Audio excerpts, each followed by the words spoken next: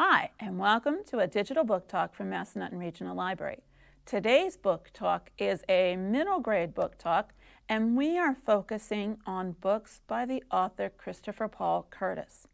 Now, Mr. Curtis grew up in Flint, Michigan, and you'll find that a number of his books are set in Flint, Michigan. Not all of them, but a, good few. This first one here, The Watsons Go to Birmingham, 1963, is one of those books whose setting includes Flint, Michigan.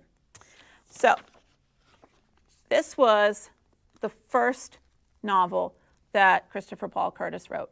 And as I said, it is set in Flint, Michigan, and it's the winter of 1962 when this story begins. And by the time it ends, it'll be the fall of 1963.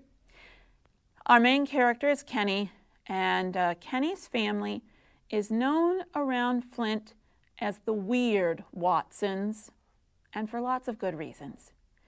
He has a younger sister, Joetta, and she has been led to believe that she has to be way overdressed in the winter because her mama is a southerner from Alabama, and if she's not overdressed, she will freeze solid, and then she'll have to be picked up by the city garbage trucks.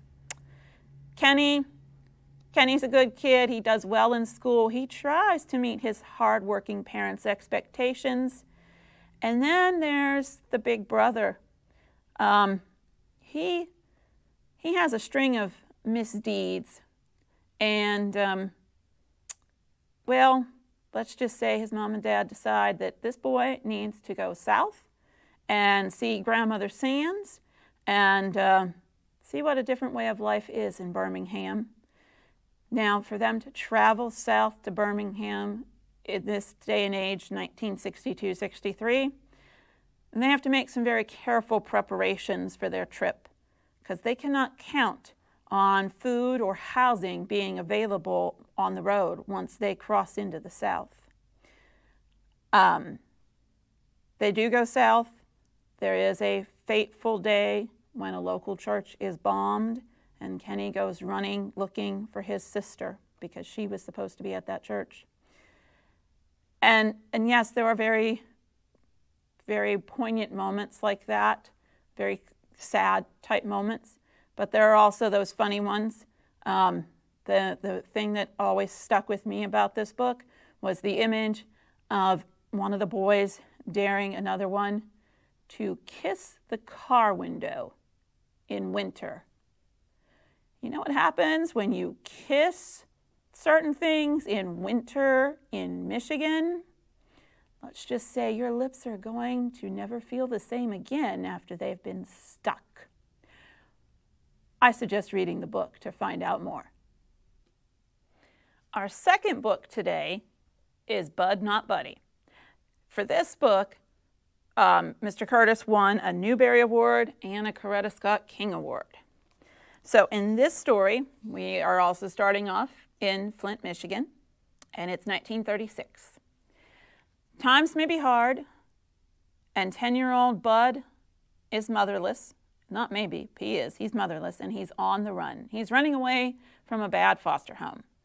But he's got a few things going for him. One, he has his own suitcase filled with his own important secret things. Two, he is the author of Bud Caldwell's Rules and Things for Having a Funner Life and Making a Better Liar Out of Yourself. And three, his mama never told him who his father was, but she left a clue. Flyers. Flyers of Herman E. Calloway and his famous band, the Dusky Devastators of the Depression. Bud's got an idea. He's got an idea that those flyers will lead him to his father. And once he decides to hit the road and find his uh, or this mystery man, nothing can stop him.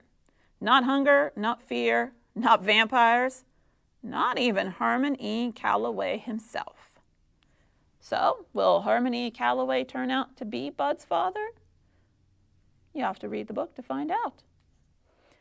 Our third book today is The Mighty Miss Malone if you've carefully read Bud Not Buddy, you might actually recognize our main character, Deza Malone, as she did make a quick appearance over here in Bud Not Buddy. So, the Mighty Miss Malone, we have um, Deza Malone's family.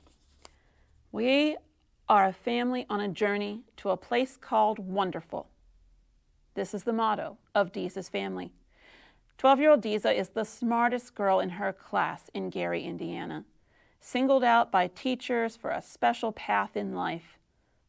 But the Great Depression hits Gary, Indiana, and it hits hard, and there are no jobs for black men. When her father leaves to find work, Deza, her mother, and her older brother Jimmy go off in search of him, and they end up in a Hooverville camp outside of Flint, Michigan. Jimmy's beautiful voice inspires him to leave the camp to be a performer, while Deza and her mother find a new home and cling to the hope that they will someday find her father. The twists and turns of this story reveal the devastation of the Depression and prove that Deza truly is the mighty Miss Malone. Read the book to find out the rest of her story. The last book I'm going to talk about today is Elijah of Buxton. For this book, uh, Christopher Paul Curtis won a Coretta Scott King Award, and this book was also named as a Newbery Honor Book. In this story, we have 11 year old Elijah, Elijah Freeman. He is the first child born into freedom in Buxton, Ontario, a settlement of runaway slaves near the American border. He's best known in his hometown as the boy who made a memorable impression on Frederick Douglass. Memorable. He upchucked on him. But things changed in 1859 when a former slave steals money from Elijah's friend, money that this friend has been saving up to buy his family out of captivity in the South.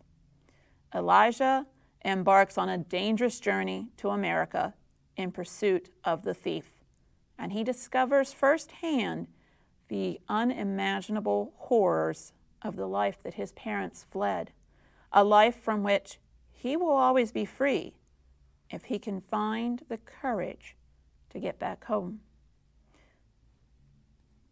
Does the gentleman get his money back? Is the thief caught? Does Elijah make it back to Canada?